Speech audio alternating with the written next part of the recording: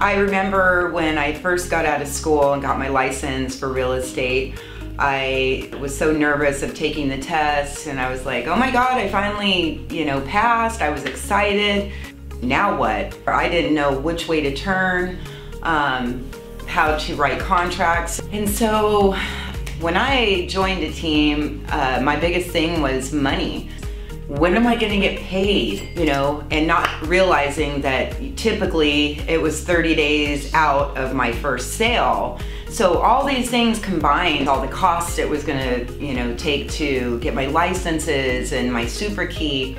So joining a team was awesome because I had my flyers made, I had for sale signs, open house signs, my business cards, just everything. It was so uh, helpful. Again, I can't emphasize the best thing for me once I got out of real estate was joining a team, and there you have it.